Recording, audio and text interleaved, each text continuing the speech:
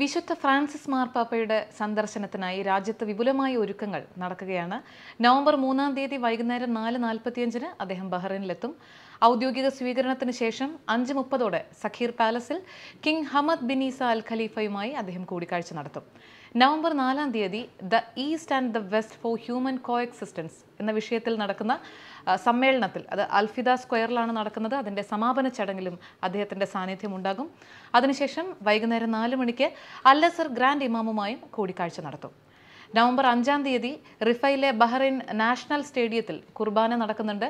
അതിൽ പങ്കെടുക്കാനായുള്ള രജിസ്ട്രേഷൻ ആരംഭിച്ചു കഴിഞ്ഞു. W W dot Bahrain papal visit dot O R G എന്ന വെബ്സൈറ്റിൽ നിന്ന് അതിന്റെ വിശദമായ വിവരങ്ങൾ ലഭ്യമാവും.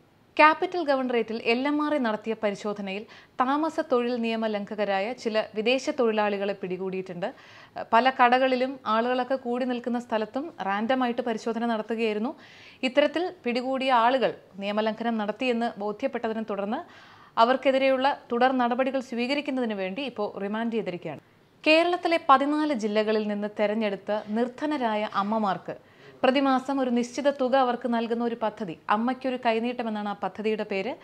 A Y C C Bahrain charity വിങ്ങാണ് ഈ ഒരു പദ്ധതിക്ക് പിന്നിൽ പ്രവർത്തിക്കുന്നത്. ഇതിന്റെ ഔപചാരികമായ ഉദ്ഘാടനം കഴിഞ്ഞ ദിവസം നടന്നിരിക്കുകയാണ്. കോഴിക്കോട് കുന്നുമ്മൽ പഞ്ചായത്തിലെ അമ്പലക്കുളങ്ങരയിലുള്ള നിർധനരായ കുടുംബാംഗങ്ങൾക്ക് ഈ ഒരു സാമ്പത്തിക സഹായം നൽകിക്കൊണ്ട് കെ മുരളീധരൻ എം പിയാണ് ഇതിന്റെ ഔദ്യോഗികമായ ഉദ്ഘാടന കർമ്മം നിർവഹിച്ചത്. യൂത്ത് കോൺഗ്രസ് പ്രാദേശിക നേതൃത്വമാണ് അർഹരായ ആളുകളെ ഇതിനുവേണ്ടി തെരഞ്ഞെടുക്കുന്നത്. ഒക്ടോബർ ഇരുപത് ഇരുപത്തിയൊന്ന് വ്യാഴം വെള്ളി എന്നീ ദിവസങ്ങളിൽ ബഹ്റൈൻ ഗോസി കോംപ്ലക്സിന് സമീപത്തുള്ള അൽത്തേൽ സ്റ്റേഡിയത്തിൽ K P F olympian Abdul Rahman memorial rolling trophy football tournament നടക്കുകയാണ്. ബി എം സിയുമായി സഹകരിച്ച് നടത്തുന്ന ടൂർണമെന്റിൽ എട്ട് എ സൈഡ് നോക്കൌട്ട് മത്സരങ്ങളായിരിക്കും ഉണ്ടാവുക. വിശ്വകലാ സാംസ്കാരിക വേദിയുടെ നേതൃത്വത്തിൽ നടത്തപ്പെട്ട കഥ കവിതാ മത്സരങ്ങളിൽ വിജയികളായ ആളുകളെ പ്രഖ്യാപിച്ചു. കഥാ മത്സരത്തിൽ നാസർ മുതുകാട് ഹരികുമാർ കിടങ്ങൂർ പ്രകാശൻ വി പി എന്നിവരും കവിതാ മത്സരത്തിൽ യഹിയ മുഹമ്മദ് ജയചന്ദ്രൻ റിസാൻ എന്നിവരും ഒന്ന് രണ്ട് മൂന്ന് സ്ഥാനങ്ങൾ യഥാക്രമം സ്വന്തമാക്കിയിട്ടുണ്ട്. പങ്കെടുത്തവരെയും വിജയികളെയും വിശ്വകലാ ഭാരവാഹികൾ അഭിനന്ദനം അറിയിച്ചിരിക്കുകയാണ്.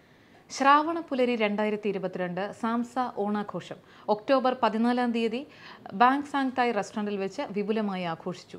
സമൂഹത്തിന്റെ പല മേഖലകളിൽ നിന്നുള്ള എണ്ണൂറോളം ആളുകളാണ് ഈ ഒരു ഓണാഘോഷ പരിപാടിയിൽ പങ്കെടുത്തത്. ഔപചാരികമായ ഉദ്ഘാടനം മുതിർന്ന മാധ്യമപ്രവർത്തകനും പ്രവാസി ഭാരതീയ പുരസ്കാര ജേതാവുമായ സോമൻ ബേബി ഭദ്രദീപം കൊളുത്തി നിർവഹിച്ചു. വൈവിധ്യമാർന്ന കലാപരിപാടികൾ കൊണ്ട് സമ്പന്നമായിരുന്നു ഈ ഒരു ഓണാഘോഷം. സാംസയിലെ കലാകാരന്മാരും സാംസയെ സ്നേഹിക്കുന്നവരുടെയും ഒക്കെ ഒരു സാന്നിധ്യം ഇതിന് മാറ്റുകൂട്ടി. ജിജോ ജോർജ് കൺവീനറും സതീഷ് പൂമനയ്ക്കൽ കോർഡിനേറ്ററുമായ അൻപത്തിയൊന്ന് അംഗ കമ്മിറ്റി രണ്ട് മാസക്കാലം നടത്തിയ ഒരു പ്രയത്നത്തിന്റെ ഫലമായിട്ടാണ് ഇത്രയും മനോഹരമായി ഈ ഒരു പരിപാടി നടന്നതെന്ന് ഭാരവാഹികൾ അറിയിച്ചു. ബഹ്റിൻ വാർത്ത ഈവനിംഗ് അപ്ഡേറ്റ്സ് സമാപിക്കുന്നു. നന്ദി.